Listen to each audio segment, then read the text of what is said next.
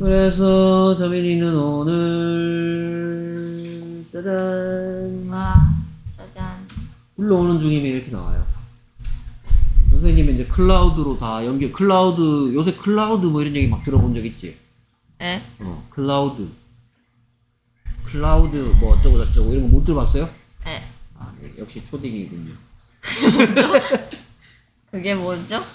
네, 컴퓨터가 저기 어딘가에 있는 메인 서버에, 메인 아. 서버는 뭔지 들어봤어요? 에. 네, 거기에 정보가 담겨 있어서 여기서 접속해도 여기 있는 거 불러와서 그냥 쓰면 되고 음. 딴데 가가지고 다른 컴퓨터로 해도 여기 있는 거 불러와도 되고 그냥 계속 연결되겠네요. 음.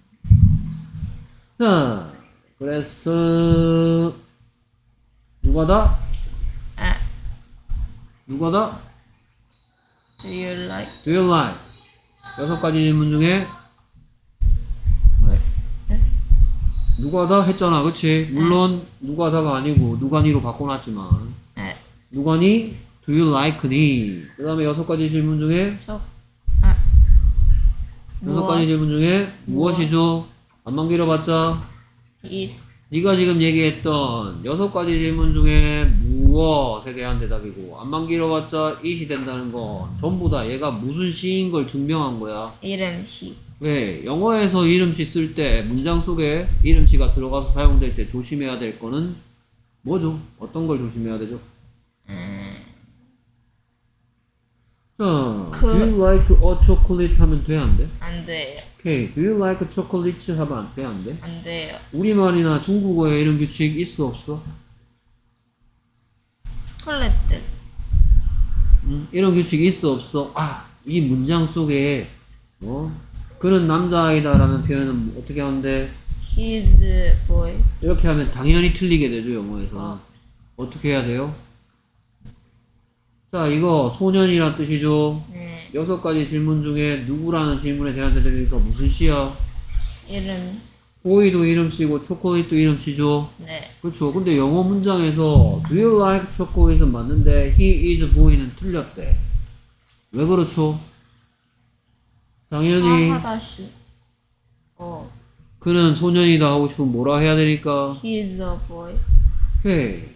얘도 이름씨고 지금 자 다시 네. 문장 속에 이름씨 누구 무엇을 실제로 사용할 때 조심해야 될 건 그 이름씨를 셀 수. 있는지 없는지를 생각해 봐야 된다고 했죠. 네. 초콜릿은 셀 수가 없어요. 하지만 남자아이는 한 명, 두 명 셀 수가 있어요. 여기에 히니까 남자 몇 명인 거야? 한 명. 한 명인 거지. 네. 그러니까 이걸 써야 된다고요. 오케이. 자, 여기에 남자애 두 명이 앉아 있다 쳐. 네. 음, 그러면 이번에는 The, their, their boy. 틀렸죠? 시- 그래. 이거 왜 해줘야 돼? 여러 명 있으니까. 오케이. 보이라는 이름씨는 이렇게 생겼어. 근데 네. 상황에 따라서 이렇게 해야 될 때도 있고, 이렇게 해야 할 때도 있고, 네. 이렇게 해야 될 때도 있고, 네. 이렇게 해야 될 때도 있대. 네. 자, 이건 어떤 상황이냐? 이 어떤 긴 대화에서 남자아이에 대해서 얘기하는데 그 남자아이가 처음 얘기하는 거고 그 사람이 하필이면 한 명일 네. 때는 예를 쓴다고요. 자, 이건 어떨 때 쓰냐? 아까 얘기했던 그 남자에 대한 얘기를 계속할 때. 왜냐하면 얘는 그 소년이란 뜻이니까. 걔 있잖아, 걔 그 남자애. 이래서. 다시, 어떤, 자. 어떤 사람이 계속 말을 계속 이어서 해, 해. 여러 문장을 얘기해. He's a boy. The boy is kind. 이렇게 얘기한다. 그는 어린 남자아이인데 라고 어떤 사람에 대해서 처음 소개했어. 네. 그러니까 이건 처음 얘기하는 거야. 네. 근데 그 남자아이가 친절하다고 얘기하고 싶어. 동일한 사람에 대해서 다시 얘기하고 싶지. 그러니까 여기는 이걸 써야 된다고. 여기에다가 이런 거 쓰면 안 된다고요. 네. 어떨 때 어를 쓰고 더를 쓰는지 그리고 이름씨가 셀 수 있는가 없는가에 따라서 뭔가 문장 속에 뭔가를 어를 써야 되냐, 여러세 형태로 해야 되냐 말아야 되냐 얘기했고요. 그 다음 문장, imagine 뜻이 뭐예요? 상상하다. 그럼 무슨 시예요? 하다시. 그럼 문장이 하다시로 시작하네. 에. 그럼 이런 걸 보고 뭐라 그랬더라? 어. 자, 그렇다면 imagine that you are in a chocolate world의 뜻이 뭐야? 상상했다. 너가 초콜릿 세상에 있다는 것을. 오케이, 상상해 보세요. 네가 초콜릿으로 된 세상에 있다라는 것을. 예. 이렇게 해석되죠? 네. 자, 하다시로 문장을 시작하니까 뭐뭐 해봐라, 뭐뭐 해보세요 이런 식으로 얘기하게 되네? 명령. 그래! 어. 원래는 얘 하다 시니까 원래 그동안은 계속 일반적인 문장을 이 앞에 누가다. 누가 다를 해야 되잖아. 네. 누가가 없네. 네. 하다 시로 시작을 했으니까. 네. 그러면 여기에 뭐가 생략된 거냐? 얘가 생략된 거야. 명령은 누구한테 하는 거야? 나한테 하는 거야? 너한테 하는 거야? 쟤한테 하는 거야? 아니면 쟤들한테 하는 거야? 명령은 누구한테 하는 거예요? 밥 먹어라. 앉아라. 너. 항상 얘한테 하잖아. 에. 그러니까 얘를 쓸 필요가 없었단 말이야. 명령하는 말은.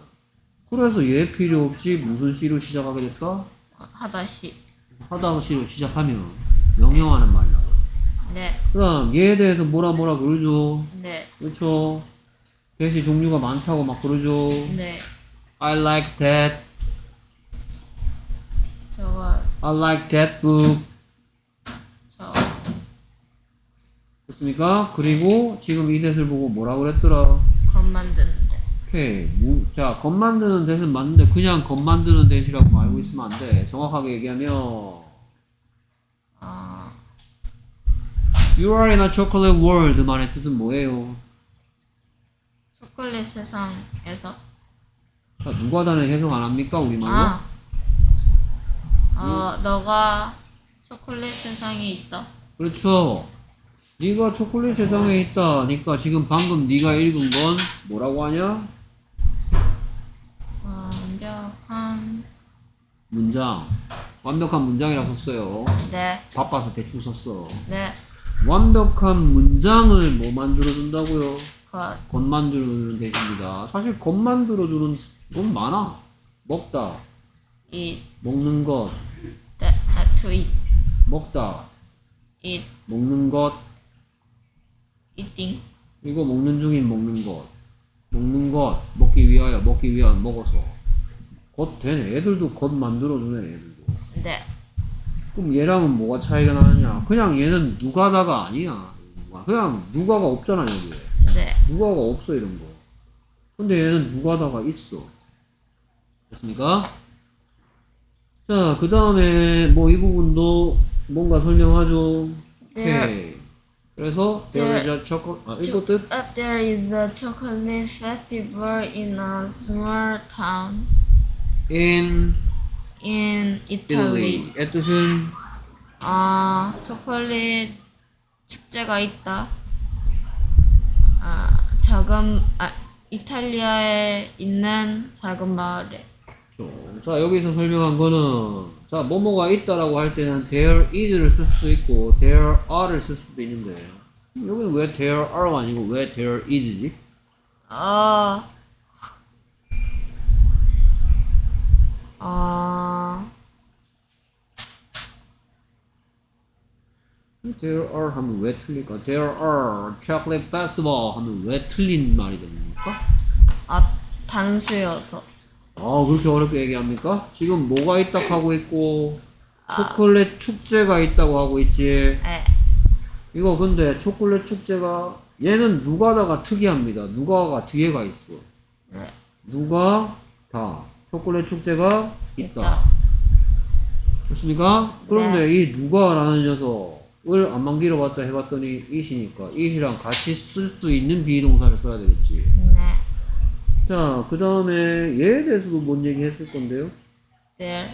어, 얘가 이런 뜻도 있고 이런 뜻도 있다고 하지 않던가요? 에. 예, there의 두 가지 뜻, 뭐하고 뭐? 그거 아무 뜻 없는 거. 예, 그것? it이야? 아닌데. 이거 뜻 I go there. 음. I go there. 나는 그곳으로 간다. 네, 그러니까 얘는 무슨 뜻? 그곳으로 거기에 쉽게 얘기하면 네. 대어의 첫 번째 뜻은 거기에 거기에. 거기로 두 번째 뜻은 아무 뜻 없다고만 얘기했습니까? 아니요. 아무 뜻 없는 대신에 비동사의 두 가지 뜻이 뭔데? 이따랑 이따를 이따로 만들어줘요. 이렇게 돼 있으면 그럼 is there 하면 무슨 뜻이지? 어, 이니? 있니?가 되겠죠. 뭔가 한계가 있는지 묻는 게 되겠지. 네. Are there? 하면 Are there? 있니? 예, 여러 개가 있니? 라는 뜻이겠지. 아, 예, 그 다음 이런 표시는 언제 한다고요? 그 어떤 시가 너무 길어졌을 때 예, 뒤로 그나저나 얘만 하면 얘는 무슨 시죠? 가- 에, 어디요? in. 아, 아, 뭐뭐하네. 예, 무슨 시냐고요? 앞제비 시. 됐습니까? 예. 앞제비 씨는 어디 여기도 있네? 네.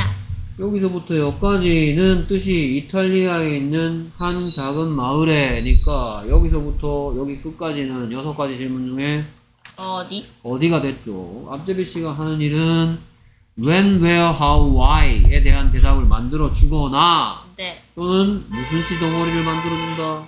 어떤, 어떤 시 덩어리를 만들어 준다. 두 가지 일을 합니다. 앞제비 시 전치사는. 음, 오케이. 아, 참, 그러잖아. 여기 초콜릿은 아까 어 쓰지 말라 그랬는데 도대체 여기에 어는 왜 있는 거지?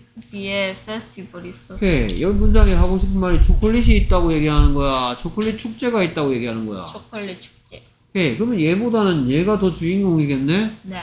축제 될 수 있어 없어? 있어요. 페스티벌즈 돼야 안 돼? 돼요. 됐습니까? 됐습니까? 네.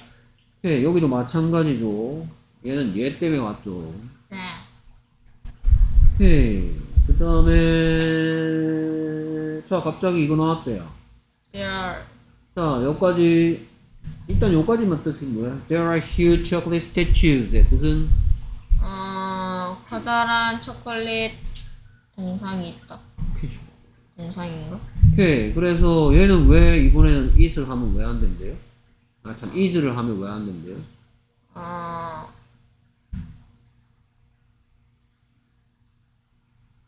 아, 선생님 복수밖에 기억이 안 나요. 오케이. 휘- 여기 이 문장이 하는 게 네가 방금 얘기했듯이 커다란 초콜릿 조각상들이 있대지. 네. 선생님이 그래 뭐 복수 그래 복수란 말도 좋다고 맞는 말이 맞아. 네.